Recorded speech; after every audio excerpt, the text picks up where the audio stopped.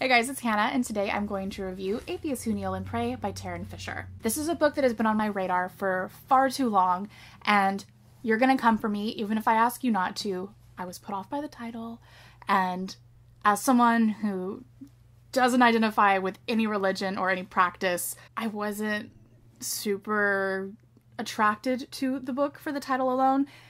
I was attracted to it still because I know that I love Tarryn's writing. Um, it just took me a minute to, you know, bite the bullet and just do it. I was worried that the book would have too many religious undertones and that would be the point of the plot. Because I, okay, I thought that because I have a thing where I don't like to read summaries or synopses anymore from authors that I know that I love because I feel like I can predict it because I've read enough by them. And so I don't read summaries, so I had no idea what it was about. But I loved it. I loved it so much. This book was one of my favorites of hers. Mud Vein always has my heart. I really, really enjoyed Marrow. This is probably up there though. Maybe third place? It's got the bronze, I think. The writing in this was phenomenal. I will say the passage of time made me leery in some places. Some places it was great. It was fantastic. It did what it needed to do.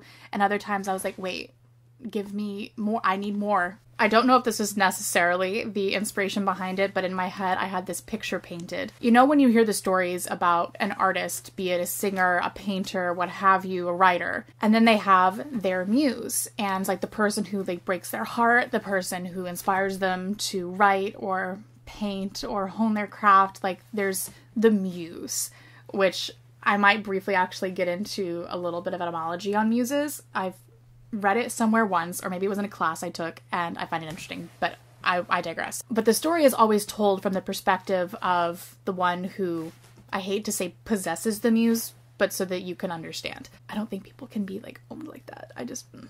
And it's never told from the perspective of the muse. That's kind of what this story is. That's how I imagined it. So she travels in and out of people's lives, in and out of cities. She moves around everywhere. She's originally from London. She's going all across the United States. She never gives herself the chance to grow roots, nor does she really have the desire to do so. The synopsis that I have on Goodreads says she is a wandering muse. She dates men who need her, but always moves on to something new, never staying in one place for very long.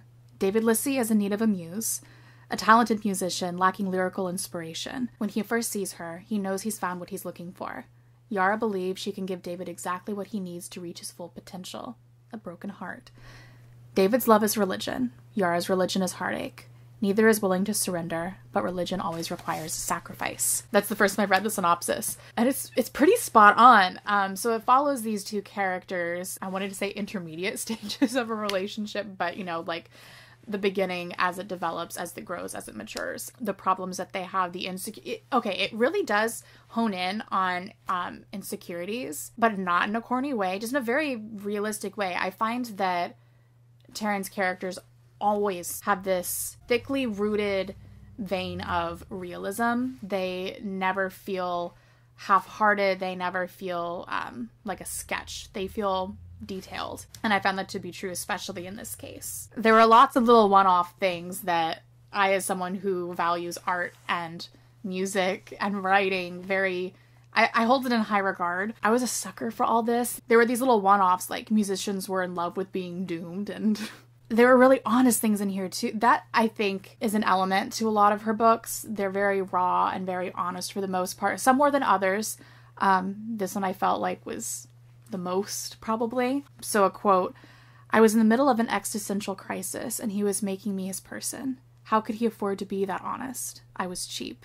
I fell for it because most of us really want to be wanted. Oh, and then there was the thing that gets me the most is like mother daughter issues.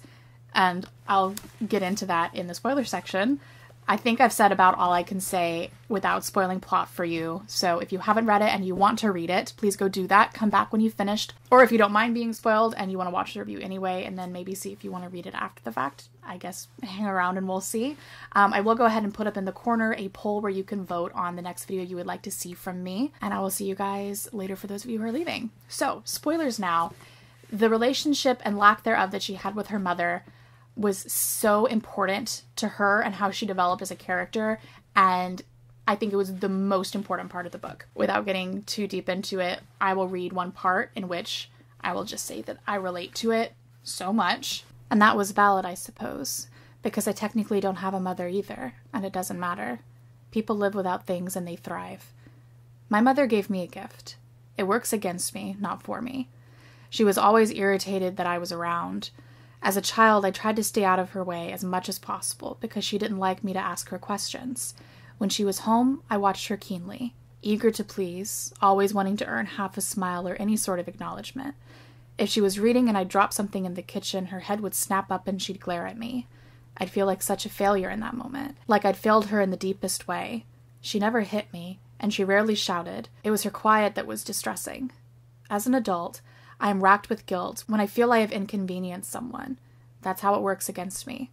If I walk into a cafe and I take the seat by the window, I feel guilt for being selfish, for taking the best table in the house. We're getting deep.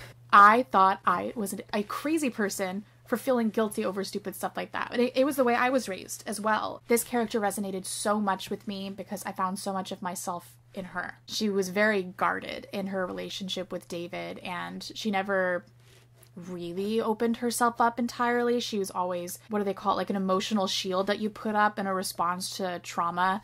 And trauma can mean a lot of different things.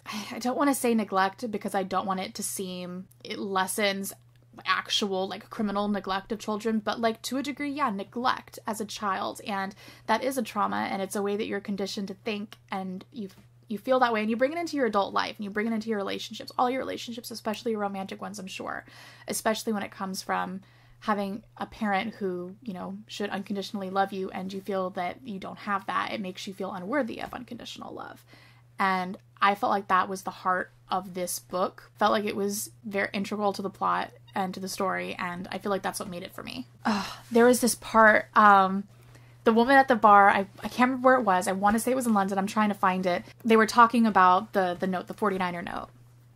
And she asked him what it meant. The lady at the bar he says she told me to write something random on the paper and leave. What? I say shocked. Penny?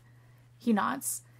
She said that if you give a random object to a person who is searching for something they would create their own meaning around it and that meaning would reflect the deepest desire of their heart. It was a way for the person to find their way back to you, even if it took a lifetime. There was no way I could have said anything to make you realize it was me you were looking for your whole life. You had to realize that on your own.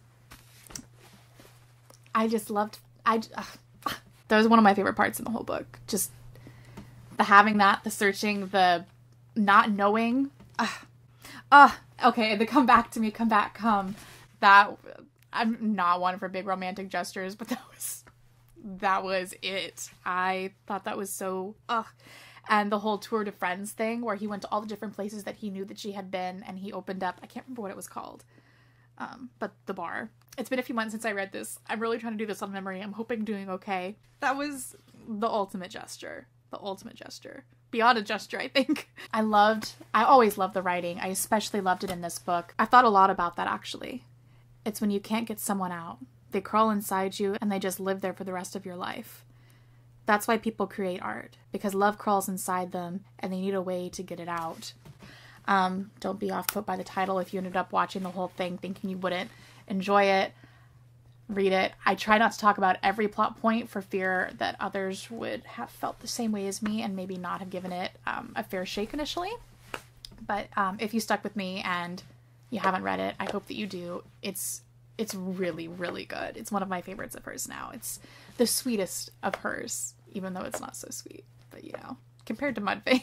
I hope that you guys enjoyed this, and please do remember to go ahead and vote on that poll so I know what videos you guys would like to see next, and I will see you next time.